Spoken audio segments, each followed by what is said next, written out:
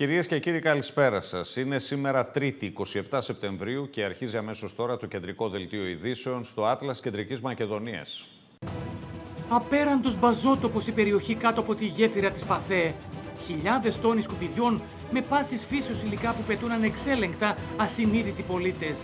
Περισσότερα από 800.000 ευρώ έχει ξοδέψει η περιφέρεια για τον καθαρισμό του χώρου.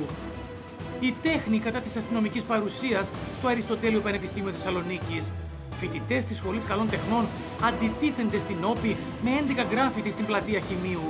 Το φιλμ των επεισοδίων καρέ-καρέ στα σκαλοπάτια του Πανεπιστημίου.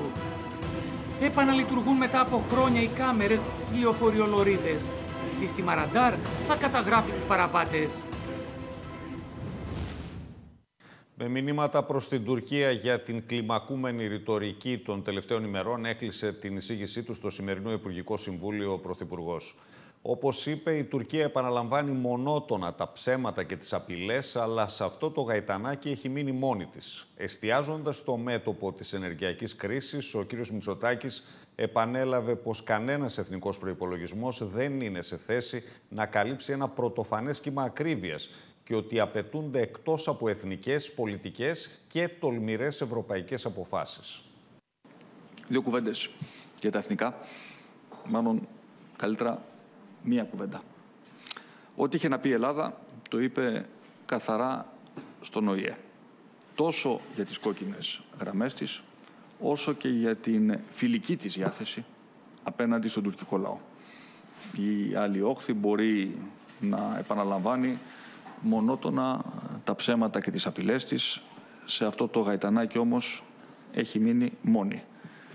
Εμείς μένουμε με ψυχραιμία και αυτοπεποίθησης στις καθαρές μας θέσεις, με την ισχύ του διεθνούς δικαίου, την επιφυλακή των ενόπλων δυνάμεών μας, τη συμπαράσταση των συμμάχων μας.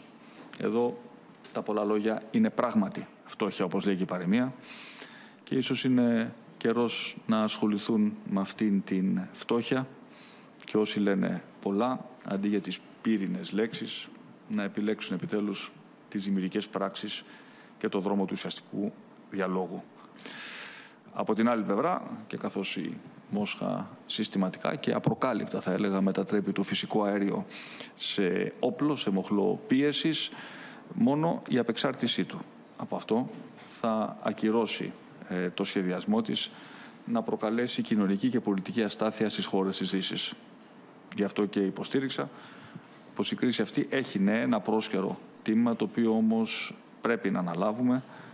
Είναι ένα τίμα το οποίο μπορεί να μας κοστίσει, αλλά δεν πρέπει σε καμία περίπτωση να μας λυγίσει. Η ελευθερία, η ανεξαρτησία, η δημοκρατία, το δικαίωμα τελικά των κοινωνιών μας στην ευημερία, όλα αυτά είναι αδιαπραγμάτευτα. Οι κυβερνήσεις, συνεπώς, έχουν χρέος να σταθούν δίπλα στους πολίτες, στο πλευρό τους, αλλά να μην κρύψουν τις δυσκολίες, καθώς όλα τα δημοσιομικά περιθώρια έχουν τα όρια τους και με αυτήν την ισορροπία βαδίζουμε και εμείς. Παρά το δυσμενές περιβάλλον, η οικονομία αναπτύσσεται πολύ πιο γρήγορα από αυτό που εκτιμούσαμε στις ε, ε, αρχές του έτους. Αλλάζουμε θέμα και ερχόμαστε στα δικά μας, στα καθημερινά μας. Σε έναν απέραντο μπαζότοπο μετατρέπεται διαρκώς η περιοχή κάτω από τη γέφυρα της Παθέ, καθώς ασυνείδητοι πολίτες και διάφοροι επιτίδοι πετούν ανεξέλεγκτα χιλιάδες τόνους σκουπιδιών με πάσης φύσεως υλικά, τα οποία έχουν σχηματίσει σωρούς δεξιά και αριστερά του δρόμου για ακόμη μία φορά. Όπως λέει η γεμάτη αγανάκτηση η Αντιπεριφερειάρχης Θεσσαλονίκης Βούλα Πατουλίδου, η κατάσταση είναι εκτός ελέγχου, καθώς ολιμερείς καθαρίζουν και το βράδυ ξαναγεμίζει, θέλοντας να δείξει ότι κάθε προσπάθεια που καταβάλουν από κοινού η Περιφέρεια και ο Δήμος για τον καθαρισμό του χώρου αποβαίνει άκαρπη, αφού οι επιτίδοι ξαναχτυπούν σε κάθε ευκαιρία. Ελά στο μεγαλείο σου. Εικόνες που προκαλούν ντροπή, θλίψη, αηδία και αποτροπιασμό και μάλιστα εν έτη 2022. Κάτω από τη γέφυρα της Παθέ, κοντά στα κτέλ, η δυτική πλευρά της Θεσσαλονίκης είναι γεμάτη με μπάζα και σκουπίδια, με την περιοχή να έχει μετατραπεί σε μια απέραντη χωματερή. Φτάνει στο σημείο πλέον αυτά, τα μπάζα έτσι όπως τα βλέπετε και αυτή απίστευτη βρωμιά που ξαναδημιουργείται, θα φτάσει μέχρι το κτέλ, από το κτέλ θα φτάσει στο λιμάνι πάνε και τελικά θα φτάσει Αριστοτέλου τελικά. Και δεν είναι θλιβερή εικόνα τόσο για μας, για τον κόσμο που περνάει. Γιατί αυτός ο δρόμος οδηγεί στα κτέλ, ειδικά το καλοκαίρι, χιλιάδες τουρίστε, χιλιάδες ταξί από εδώ περνάνε, βλέπουν την κατάντια αυτή. Έχουμε παραπονεθεί πάρα πολλές φορές στο Δήμο, γιατί είναι τμήμα του Δήμου Θεσσαλονίκης. Με την κάμερα του Άτλας πραγματοποίησαμε αυτοψία στην πολύπαθη περιοχή και αυτό που αντικρίσαμε δεν περιγράφεται με λόγια. Άλλωστε, μία εικόνα χίλιες λέξεις, με τα μπάζα να σχηματίζουν σωρούς και να βρίσκονται σκόρπια παρατημένα δεξιά και αριστερά του δρόμου. Όχι θλιβερή, απαράδεκτη. Απαράδεκτη. Οι δημοτικές αρχές, δεν ξέρω σε ποιον ανήκει, νομαρχία, έπρεπε να το είχαν καθαρίσει. Η κατάσταση δραματική, απελπιστική, με τις εικόνες να είναι κυριολεκτικά τριτοκοσμικές και άκρο αποκρουστικές. Ό,τι μπορεί να φανταστεί κανείς θα το δει σε αυτόν τον παζότοπο, με πάσης φύσεως υλικά να βρίσκονται παρανόμως στον χώρο. Η αγανάκτηση ε, ξεπερνάει τον πόη μου. Γιατί καθαρίσαμε μία, καθαρίσαμε δύο και λες, α, εντάξει. Ε, και είναι αυτό που λες κάθε φορά. Αν είναι καθαρό θα το σεβαστούν. Τελικά ούτε το καθαρό το σεβόμαστε. Το βράδυ τα πετάνε. Α στείλουν το βράδυ κάποιου να παραφυλάνε. Αλλά εν πάση περιπτώσει τα πετάνε ασυνείδητοι. Πρέπει να τα μαζεύουμε. Δεν γίνεται διαφορετικά. Αλλιώς θα είμαστε αυτή την κατάντια που έχουμε. Χιλιάδες τόνοι. Βλέπαμε όλος ο δρόμος έχει. Πάρα πολύ. Βέβαια τα έχουν ξαναμαζέψει, αλλά τώρα έχει πάρα πολύ καιρό να τα μαζέψουν. Γι' αυτό αυτή είναι η, κατάντα, η κατάντια. Και τι δεν είδαμε τόσο κατά μήκος του δρόμου, όσο και κάτω από τη γέφυρα. Μπάζα, οικοδομικά υλικά, τούβλα, κασώματα από πόρτες, λεκάνες, νεροχύτες, σπασμένα γυαλιά σκόρπια στο χώρο, κομμάτια αμίαντου, σακιά με χώμα και πέτρες, σκουπίδια, έπιπλα, ξύλα, ταμπλό αυτοκινήτου και λάστιχα, στρώματα, παπούτσια. Ένα τοπίο θλιβερό και μάλιστα μία ανάσα από το κέντρο της Θεσσαλονίκης. Που δεν θέλει αστυνόμευση. Άμα δεν αστυνομεύσει, άμα δεν τους πιάσει αυτούς που τα πετάνε, είναι δώρο-νάδωρο. Δεν ξέρω. Δηλαδή ο Δήμος προσπαθεί, αλλά από εκεί και ύστερα τίποτα δεν γίνεται. Ανεξέλεγκτη κατάσταση. Αυτό που λέτε είναι απελπισία, ε, πραγματική. Περνάς κάτω από τη γέφυρα και πολλές φορές δεν, χωρί, δεν χωράς να περάσεις. Μία φορά πέρασα και δεν ξαναπερνάω. Δηλαδή φοβάσαι να περάσεις. Είναι μια παράδεκτη κατάσταση. Γυαλιά είδαμε σπασμένα, Τι οικοδομικά γυαλιά, υλικά, τα, μέχρι ο- τα πάντα. Δεν, δεν... όλοι τα μπάζα, ό,τι απο, απορρίμματα πάντα αφήνουν εκεί πέρα. Η, η κατάσταση δεν είναι καλή. Όπως λένε κάτοικοι της περιοχής, επαγγελματίες αλλά και περαστικοί, ανησυχούν ιδιαίτερα για την υγεία τους από τα σκουπίδια που έχουν σχηματίσει βουνά και τον τεράστιο μπαζότοπο που έχει δημιουργηθεί κάτω από τη γέφυρα της Παθέ. Α, Τα μαζεύουν την επόμενη μέρα ξανά από την αρχή. Μιλάμε χιλιάδες τόνοι, ε. Έχει, έχει, πολύ. Τι πρέπει να γίνει, τι, τι πιστεύεις; Τι να γίνει, ξέρω εγώ τι να γίνει. Έλεγχος. Το πρόβλημα δυστυχώς δεν είναι τωρινό, αλλά τίνει να χρονίσει και όπως φαίνεται δεν έχει αντιμετωπιστεί επαρκώς. Και όλα αυτά, καθώς ο Δήμος και η Περιφέρεια Κεντρικής Μακεδονίας έχουν προβεί σε ούκο λίγους καθαρισμούς στον συγκεκριμένο χώρο. Όμως, μέσα σε λίγες ημέρες, οι ασυνείδητοι ξαναγεμίζουν την περιοχή, πετώντας ανεξέλεγκτα τα μπάζα τους εκεί. Πάνω από 800.000. Και πόσες φορές Ε, έχετε. εννοείται, και εννοείται, δεν θέλω να με ρωτάτε πράγματα τα οποία τα έχουμε κάνει χίλιες φορές. Δηλαδή, πόσες φορές, όσες φορές χρειάστηκε, μπορεί και πέντε και δέκα και όχι μόνο εκεί. Μμμ. Και σε άλλες περιπτώσεις όπου ε, ήταν βουνά, τόνους. Ναι, αλλά αυτό δεν γίνεται. Η διαχείριση των ογκωδών ε, ε, πρέπει να γίνεται με συγκεκριμένο τρόπο και, με, ε, και όχι όπου βλέπουμε σκοτάδι ε, να αποθέτουμε ό,τι μας περισσεύει. Η Αντιπεριφερειάρχης Κεντρικής Μακεδονίας Βούλα Πατουλίδου δεν κρύβει την αγανάκτησή της για το γεγονός, λέγοντας ότι κάθε τρεις και λίγο είμαστε στο ίδιο έργο θεατές και ζητά την παραδειγματική τιμωρία όσων προβαίνουν σε παράνομες ενέργειες. Εάν λοιπόν σε αυτόν που πάει και αδειάζει έστω τη μία, τις δύο φορές δεν πάρουν δίπλωμα άδεια οδήγησης και το φορτηγό για δύο χρόνια, τρία χρόνια. Να υπάρχει μια υποδειγματική τιμωρία, αυτό θα συνεχίζεται. Και βεβαίως δεν φτάνουμε πλέον. Γιατί η καθαριότητα είναι των Δήμων. Εμείς ως αντιπεριφέρεια, ως περιφέρεια την τρέχουμε. Αλλά δεν γίνεται πια. Τα όρια έχουν εξαντληθεί. Όπως λέει, ό,τι και αν κάνουν οι Δήμοι και η Περιφέρεια δεν θα αρκεί αν οι πολίτες συνεχίσουν να διαφορούν για την καθαριότητα και την υγιεινή και παραβατούν ανεξέλεγκτα, πετώντας ό,τι άχρηστο υλικό στη συγκεκριμένη περιοχή, την οποία έχουν μετατρέψει σε μπαζότοπο. Μάλιστα, η κυρία Πατουλίδη τόνισε εμφατικά ότι αυτού του είδους οι δράσεις είναι πηγάδι χωρίς πάτο, καθώς οι καθαρισμοί πάνε κυριολεκτικά στο βρόντο από τη δράση των επιτίδιων. Ας πάμε στην αγορά τώρα, στην πραγματική οικονομία, να συνομιλήσουμε με τον πρόεδρο του Βιοτεχνικού Επιμελητηρίου Θεσσαλονίκης, τον Αναστάσιο Καπνοπόλη. Κύριε Πρόεδρε, καλησπέρα. Πέρα σε εσάς και στους τηλεθεατές σας.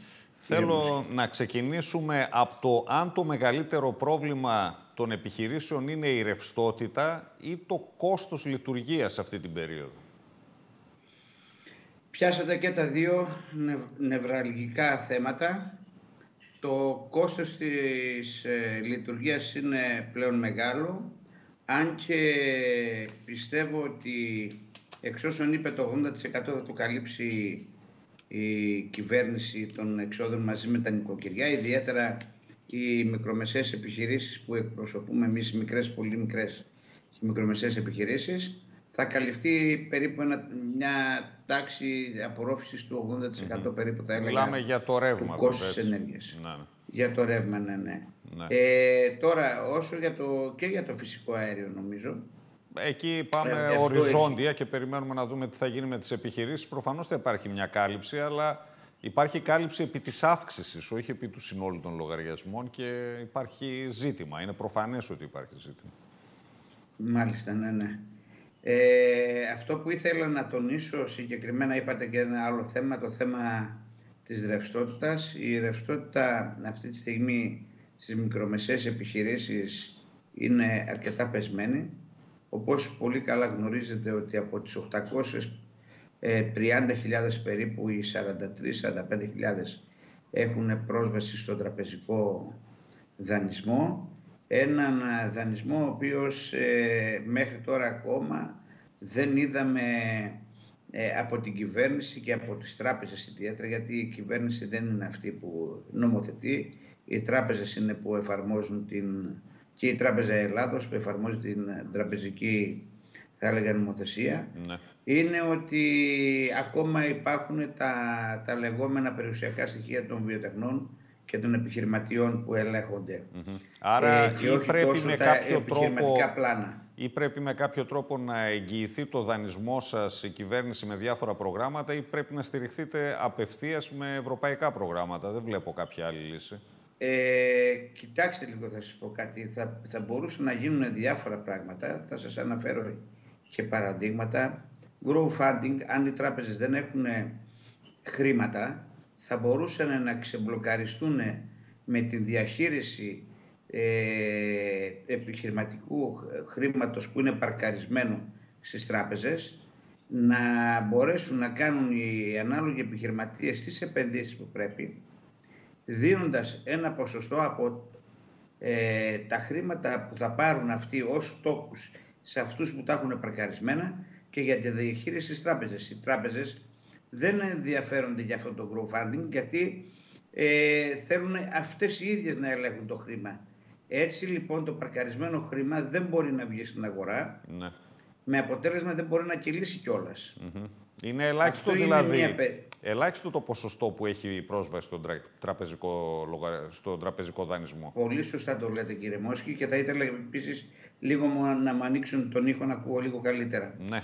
Ε, αυτό που θα ήθελα να, να τονίσω είναι ότι ε, θα πρέπει ο επιχειρηματικός κόσμος να βρει ε, τα, τα βήματά του στην, ε, στην προοπτική της εξέλιξης και της, ε, ε, στις, της εποχής της ανακύκλωσης, της, της πράσινης ανάπτυξης της τεχνολογίας, να βρει τα πατήματά του γιατί δεν μπορούν να αντέξουν ένα χειμώνα ο οποίος θα είναι δύσκολος, μια και η ρευστότητα που είχατε πει έχει διότι πρέπει να περιοριστική ο πληθωρισμός. Ναι. Αυτό είναι γνωστό, γνωστό της πάσης, ότι ξέρετε εφόσον ανεβαίνει ο πληθωρισμός πρέπει να κρατήσουμε χαμηλά τη ρευστότητα για να, το, για να συγκρατήσουμε τον πληθωρισμό. Προφανώς. Μαζεύεται, λοιπόν. μαζεύεται το χρήμα αυτή την περίοδο. Το ζήτημα είναι να μην πέσουμε σε μεγαλύτερα προβλήματα από αυτό το οποίο προσπαθούμε να λύσουμε. Πείτε μου λίγο με τις πρώτες ύλες, σε τι κατάσταση βρίσκεται η αγορά; Καταρχάς, η αίσθηση που έχω από το ρεπορτάζ είναι ότι πολλοί δυσκολεύονται να βρουν και όταν βρίσκουν, βρίσκουν σε τιμές οι οποίες είναι αυξημένες κατά 20, 30, 50 ή και 100% σε κάποιες περιπτώσεις. Πάρα πολύ σωστά τα λέτε. Είστε πολύ καλά πληροφορημένος. Εδώ θα έλεγα κύριε Μόσχη το εξής. Δεν είναι σε όλα τα, τα είδη. Είναι ιδιαίτερα στα αγροδιατροφικά είναι τα προβλήματα αυτά πολύ έντονα και στις μεταποιήσεις των τροφίμων στα μέταλλα όχι τόσο, παρόλο που είχαμε μία τάξη ανόδου της τάξης του 230% Τόσο περίπου, πολύ.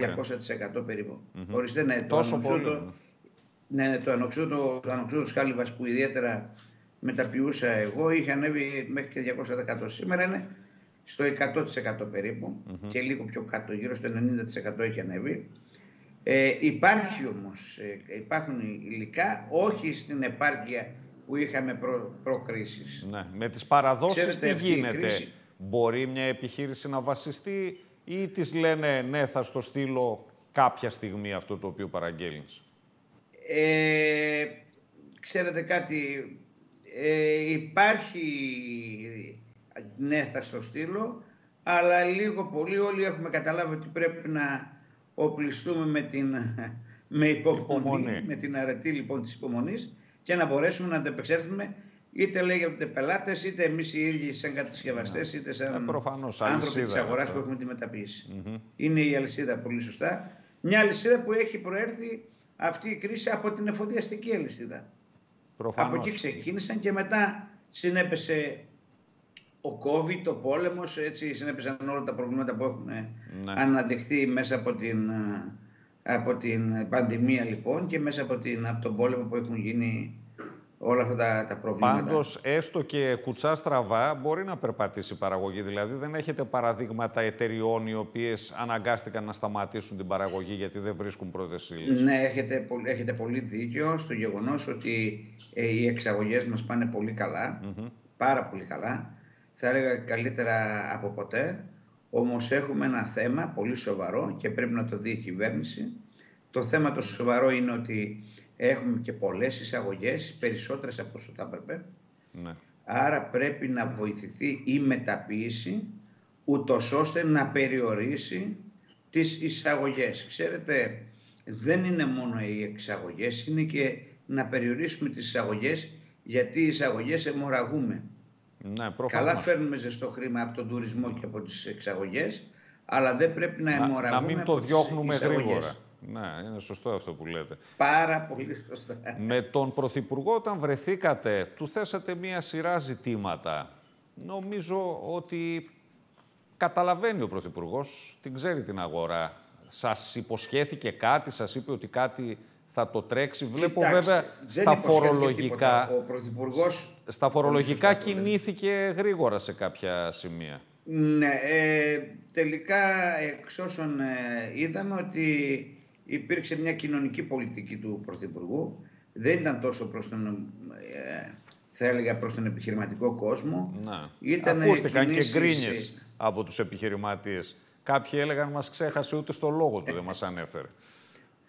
Πολύ σωστά το λέτε.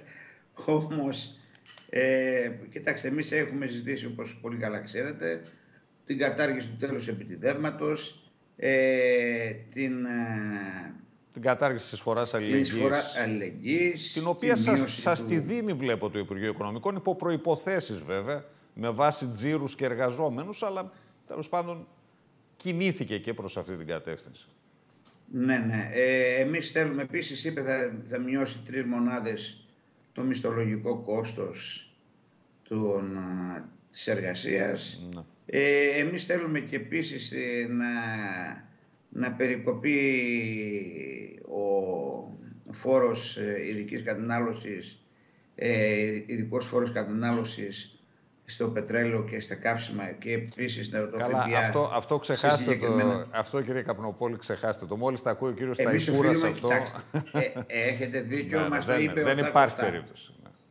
Έτσι, γιατί από κάπου πρέπει να βγει το ισοδύναμο. Όμως, σε κάποια βασικά αγαθά, θεωρώ ότι πρέπει να γίνει να πέσει ο ΦΠΑ σε συγκεκριμένα προ, τρο- ε, προϊόντα τροφίμων, τα οποία θα πρέπει λίγο να, όπως έγινε στην Ευρώπη, να γίνει και εδώ, για να μπορέσουμε να έχουμε και μια εξισορρόπηση, θα έλεγα. Ναι. Πείτε μου λίγο κάτι Ε, τελευταίο. Βλέπω ότι επιμένετε σε κάθε παρουσία σας, σας έβλεπα ας πούμε στο φόρουμ την περίοδο της έκθεσης να λέτε ότι δεν μπορείτε να βρείτε στελεχειακό δυναμικό. Μάλιστα, αν θυμάμαι καλά τον αριθμό που αναφέρατε, κάνατε λόγο για 200.000 καταρτισμένους τεχνίτες οι οποίοι θα μπορούσαν να απορροφηθούν και δεν υπάρχουν. Είναι αυτός ο αριθμός, είναι τόσο μεγάλος.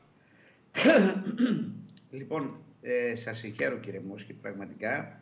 Είστε από τους λίγους ε, έγκριτους δημοσιογράφους που το αναδεικνύετε, που το εκλαμβάνετε με την πραγματική του διάσταση.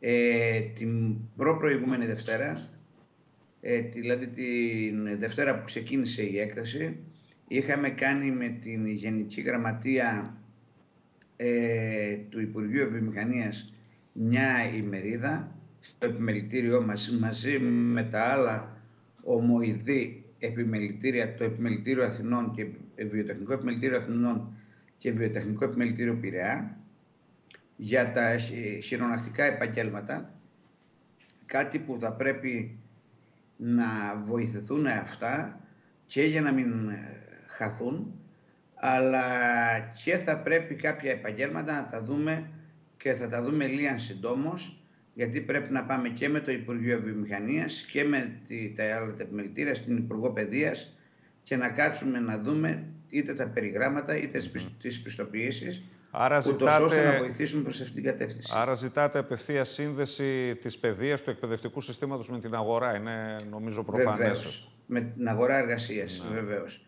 Ξέρετε κάτι κύριε Μόσχη, μας λυπεί το γεγονός ότι για να τελειώσει ο ΤΑΠ φέραμε 300 ηλεκτροκολλητές από το εξωτερικό.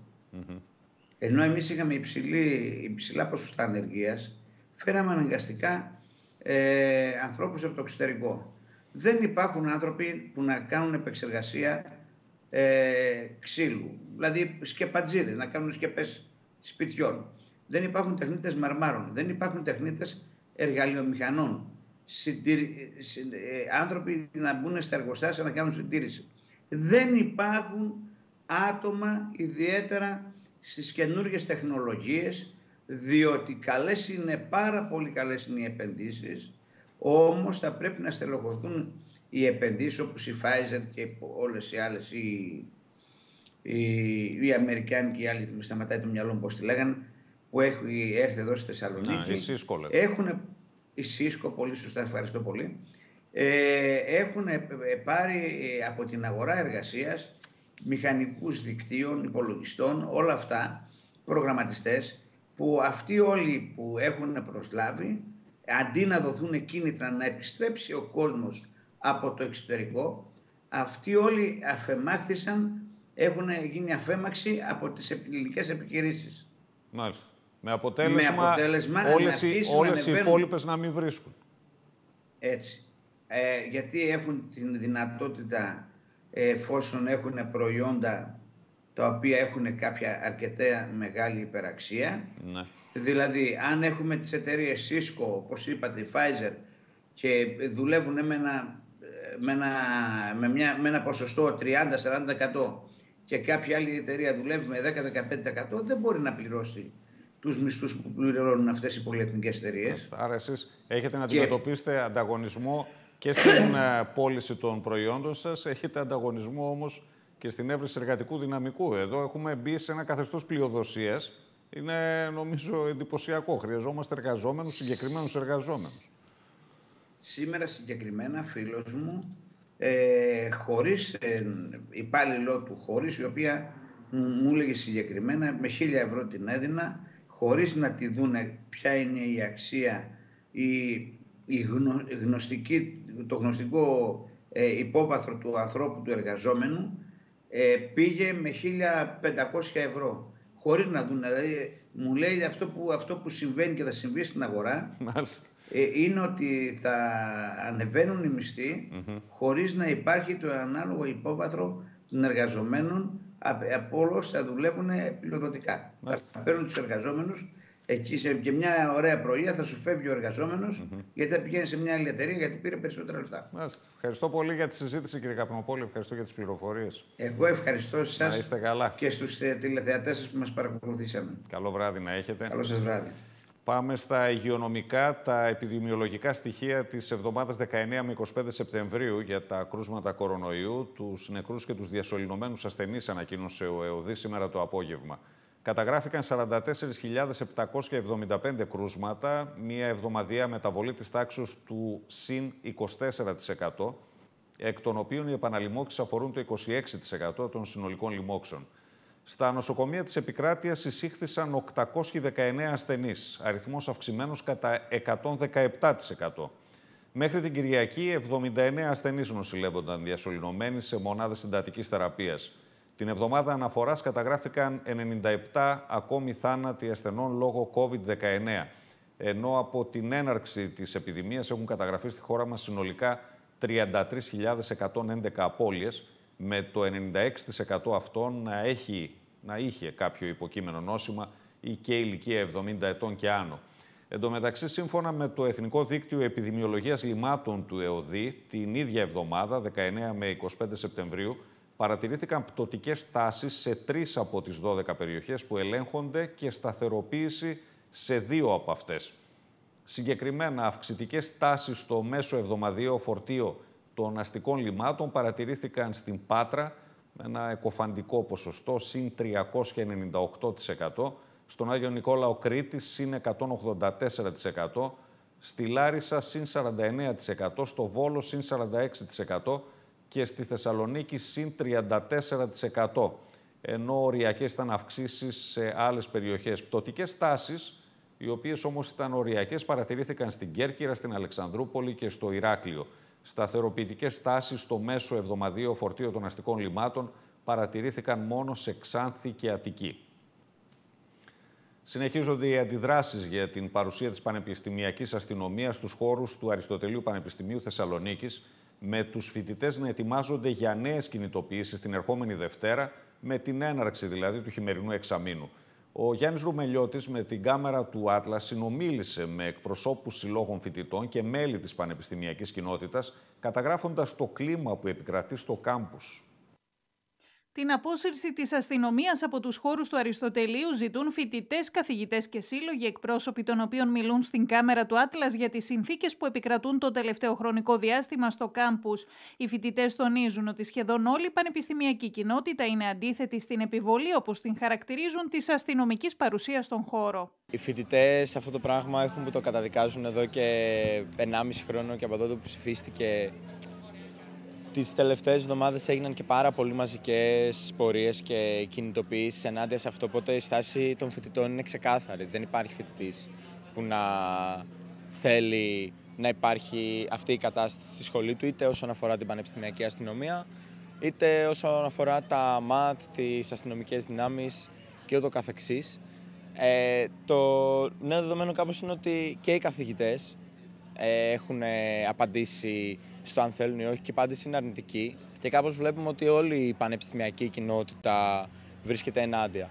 Φοιτητές, ας πούμε, είναι πάρα πολλά τα παραδείγματα που όχι απλά δεν θέλουν την πανεπιστημιακή αστυνομία ή τις δυνάμεις καταστολής στο Ίδρυμα, αλλά φοβούνται κιόλας. Δεν είναι λίγα τα περιστατικά τραμπουκισμών, στοχοποιήσεων, ξυλοδαρμών σε κινητοποιήσεις και ούτω καθεξής.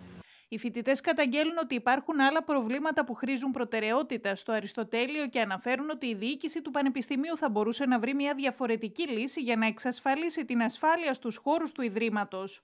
Οι φοιτητές μαζί μέσα από τους συλλόγους τους το έχουν καταδικάσει πλήρως, γιατί καταλαβαίνουμε ακριβώς ότι η παρουσία της Πανεπιστημιακής Αστυνομίας και συγκεκριμένα οι προφάσεις της ότι έρχεται εδώ πέρα για να προστατέψει για την ασφάλεια κτλ. είναι ακριβώς μια πρόφαση. Την ίδια στιγμή που και στο χώρο ε, το ΑΠΙΘΙΤΑ ε, λείπουν βασικά πράγματα. Δεν μπορείς να πας να διαβάσεις τη βιβλιοθήκη. Εδώ πέρα μέσα στη Σχολή Θετικών Επιστημών ε, δεν έχει φως, ε, δεν υπάρχει ρεύμα, ε, θέρμανση κτλ. Ε, έχει φτάσει στα προχώρητο κατάσταση. Οι φοιτητές μαζί με όλη την υπόλοιπη ακαδημαϊκή κοινότητα και όλη την κοινωνία ε, ζητάνε την αποχώρηση αστυνομίας από τα πανεπιστήμια. Με ανοιχτές επιστολές από γονείς συγκεραμαίως και στο Υπουργείο Προστασίας του Πολίτη. Οι φοιτητές και με τους αγώνες στο προηγούμενο διάστημα ε, το έχουν απονομιμοποιήσει τελείως τη συνείδησή τους και αυτό εμείς μπορούμε να το διακρίνουμε πολύ εύκολα πραγματικά από την γελιοποίηση του κράτους και συνολικά των κατασταλτικών δυνάμεων που για να μπάσουν μέσα έξι μονάδες πανεπιστημιακής αστυνομίας χρειάστηκαν πραγματικά τη μισή αστυνομική δύναμη της Θεσσαλονίκης μαζί με την Άβρα. Είναι να αποσυρθεί, ναι. Νομίζω ότι υπάρχουν άλλα ε, μέτρα που πρέπει να ληφθούν πρώτα πριν μπει η αστυνομία για την καλύτερη ασφάλεια του Πανεπιστημίου. Θεωρώ ότι άμα θέλει κάποιος μπορεί να βρει και άλλους τρόπους. Ε, κοιτάξτε, από τη μία είναι ένα πολύ αμφιλεγόμενο θέμα. Δηλαδή, από τη μία προφανώς κανείς δεν θέλει αυτή την παρουσία, okay, γιατί είναι ένα πανεπιστήμιο, αλλά Μετά είναι και κάποια μέτρα που πρέπει να πάρθουν γενικά από τη διοίκηση ώστε να μην καταστρέφονται ας πούμε, κτίρια και τέτοια και αυτά κτλ. Αλλά πάλι η αστυνομία πιστεύω δεν είναι λύση. Γιατί να είναι, τι κάνουμε ας πούμε; Δεν είναι απαραίτητο αυτή τη στιγμή και θα μπορούσε να βρεθεί μια άλλη λύση. Η Ιφηγένεια Βαμβακίδου, καθηγήτρια του Πανεπιστημίου, παίρνει θέση λέγοντας ότι το Πανεπιστήμιο θα έπρεπε να φυλάσσεται με διαφορετικό τρόπο. Η λέξη αστυνομία δεν ταιριάζει στο πανεπιστήμιο. Η φύλαξη ταιριάζει στο πανεπιστήμιο. Η φύλαξη για ανθρώπους που μαθαίνουν γράμματα και όχι πολεμικές τέχνες. Ε, τα dealing σε δημόσιους υπαίθριους χώρους, όπως όλες τις πλατείες της Θεσσαλονίκης, επειδή το Αριστοτέλειο είναι ανοιχτό κάμπους και είναι μέσα στο κέντρο της πόλης, είναι φανερό ότι η πόλη έχει ε, είσοδο στην, στο πανεπιστήμιο. Αλλά η αστυνομία, η εξοπλισμένη με όπλα χειροπέδες και συγκεκριμένη εκπαίδευση δεν φταίνει φυσικά οι αστυνομικοί, οι οποίοι είναι εκπαιδευμένοι για εγκληματίες. Εδώ μαθαίνουμε γράμματα. Τα βλέπετε τα παιδάκια όλα. Είναι 40 κιλά το καθένα, 50 κιλά το καθένα. Δεν είναι για να δέρνουν και να δέρνονται. Όσον αφορά τη βιβλιοθήκη του βιολογικού, αν πάτε μέχρι εκεί και βγάλετε μια φωτογραφία, δεν υπάρχει βιβλιοθήκη. Δεν ήρθανε ποτέ για τη βιβλιοθήκη. Υπάρχει ένας διάδρομος, ήταν ένα αυτόνομο καφενείο. Διώξανε από εκεί το αυτόνομο, το αυτόνομο καφενείο, καλός ή κακός άλλο θέμα. Και τώρα είναι ένας διάδρομος τούβλα. Οι βιβλιοθήκε είναι πάρα Στις 3 Οκτωβρίου, που ανοίγει επίσημα το Πανεπιστήμιο, οι φοιτητικοί σύλλογοι ετοιμάζουν κινητοποιήσεις εντός και εκτός του κάμπους, ενώ έχει κηρυχθεί και απεργία από τον Σύλλογο των Καθηγητών των ΕΣΔΕΠ.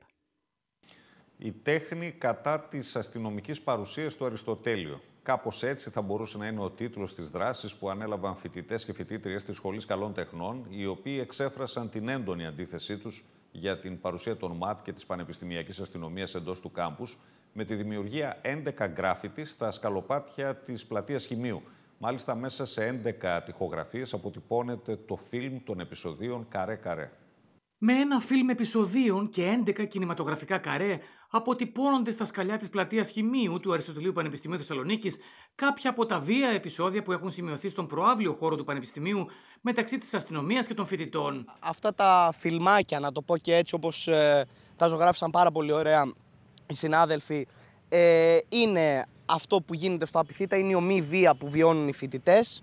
Ε, και κάθε εικόνα, ας πούμε, αντικατοπτρίζει και μια διαφορετική πτυχή του τι γινόταν εδώ τα δύο τελευταία χρόνια. Για ακόμη μια φορά, τα σοκαριστικά περιστατικά αστυνομικής βίας εντός του κάμπους ενέπνευσαν τους φοιτητές και τις φοιτήτριες του Τμήματος Καλών Τεχνών να αναδείξουν με τον δικό τους ιδιαίτερο όσο και πρωτότυπο τρόπο ένα διαφορετικό κινηματογραφικό φιλμ, του οποίου παρουσιάζεται η έκρηθμη κατάσταση που επικρατεί στο Αριστοτέλειο Πανεπιστήμιο από τον Φεβρουάριο του 2021. Το έργο τέχνης πολύ ωραίο, μας αρέσει που έγινε είναι πραγματικά αυτά που συνέβαιναν στους δρόμους και στα πανεπιστήμια μας. Η αλήθεια είναι ότι χαίρομαι πάρα πολύ που το κάνουν αυτά τα κορίτσια από την Καλών Τεχνών. Θεωρώ πάρα πολύ σημαντικό το γεγονός ότι δείχνουμε παραέρωση ότι έχει γίνει τα τελευταία δύο χρόνια μέσα στα πανεπιστήμια. Όλα ξεκίνησαν όταν αστυνομικές δυνάμεις προχώρησαν σε έφοδο εντός του χώρου του κτηρίου της Βρετανίας προκειμένου να διαλύσουν την κατάληψη που πραγματοποιούσαν φοιτητές. Ανάμεσα στις δημιουργίες βρίσκεται η εικόνα του φωτογράφου Δημήτρη Τοσίδη, που αποτύπωσε την βίαιη σύλληψη ενός νεαρού διαδηλωτή, τον οποίο νωρίτερα αστυνομικοί των ΜΑΤ έσερναν στο έδαφος, κρατώντας τον από το κεφάλι και τα χέρια. Είναι 11 σκαλοπάτια, είναι 11 σκηνές χαρακτηριστικές αστυνομικής βίας, οι οποίες έχουν διαδραματιστεί στο ΑΠΙ ε, με, ας πούμε, στο προκειμένο πλάνο εδώ πέρα βλέπουμε τους, ομα... τους άνδρες της ομάδας σύλληψης να συλλαμβάνουν ένα φοιτητή. Εδώ ε, στην Βρυτανία από το 2020, άμα δεν κάνω λάθος, το παλικάρι που το σέρνανε στο κράσπεδο. Δεν χρειαζόμαστε την αστυνομία στα πανεπιστήμια, ότι, ότι δημιουργεί περισσότερο προβλήματα από τη λύνη. Έντονες εικόνες, άσχημες εικόνες, δύσκολες στιγμές. Αυτό.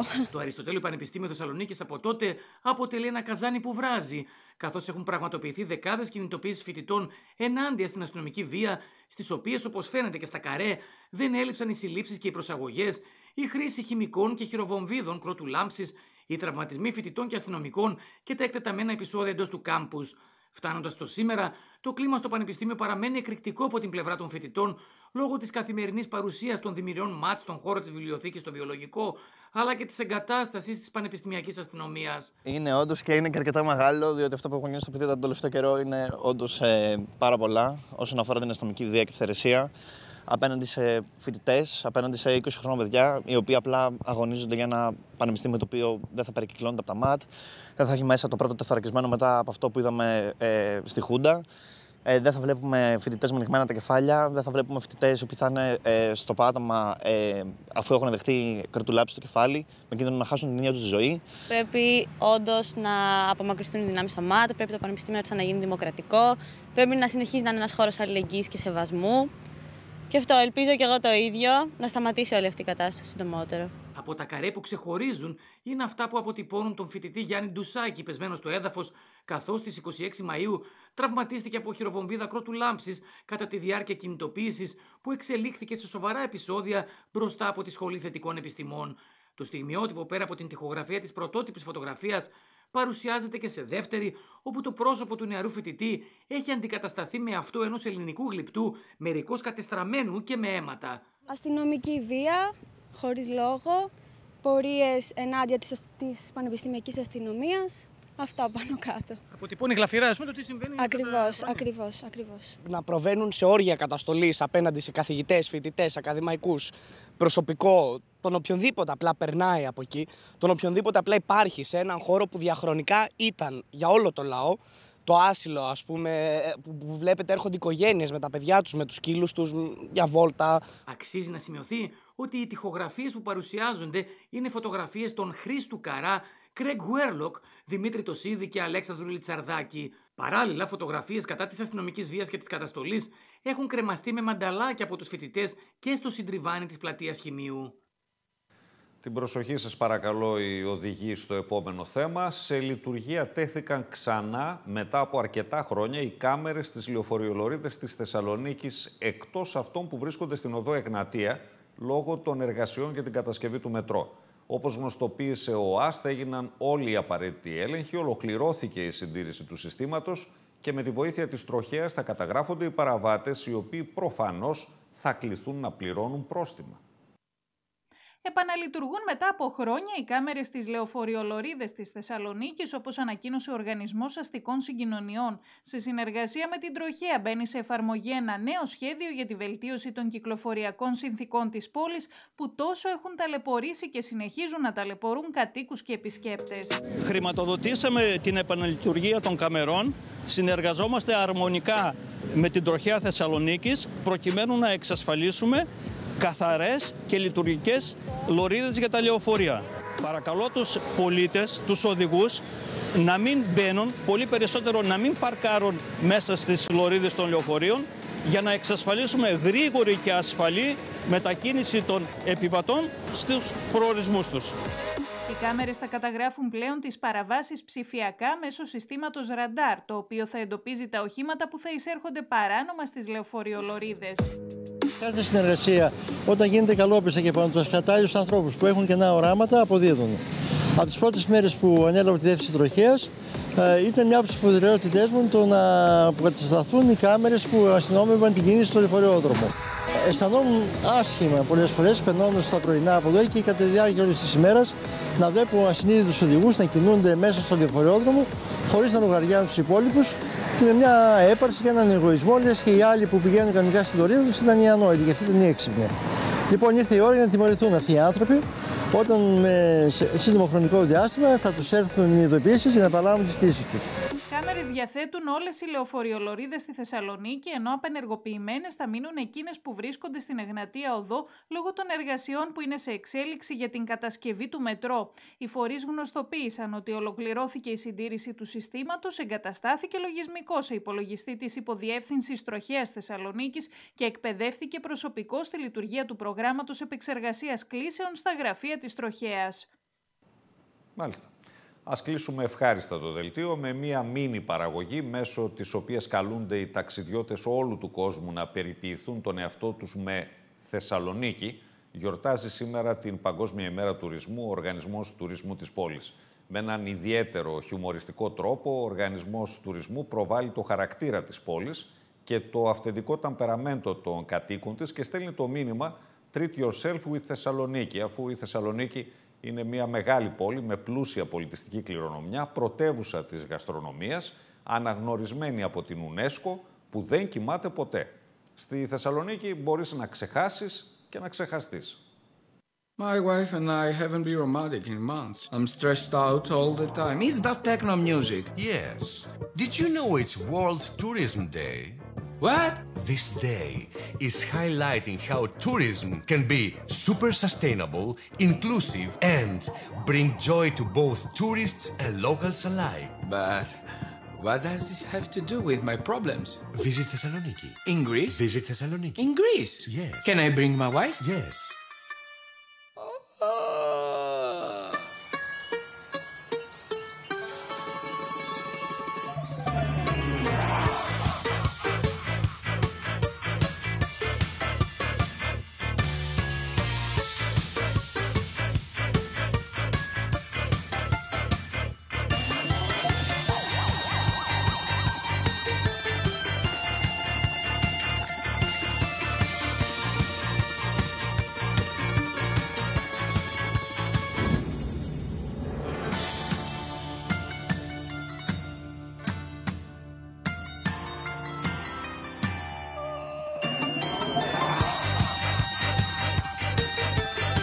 Thessaloniki. Forget your problems. And never forget to treat the environment and the local culture with respect.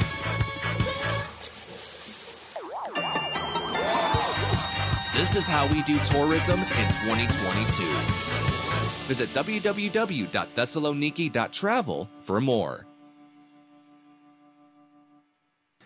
Έτσι ολοκληρώθηκε και σήμερα, κυρίες και κύριοι, η ενημέρωσή σας στο Άτλας Κεντρικής Μακεδονίας. Ακολουθεί, όπως κάθε βράδυ, αμέσως τώρα η πρόγνωση για τον αυριανό καιρό. Και εμείς, αφού ευχαριστήσουμε που μείνατε κοντά μας και σήμερα, να ανανεώσουμε το ραντεβού μας για αύριο λίγο νωρίτερα όμως, με αναλύσεις στις 8.30.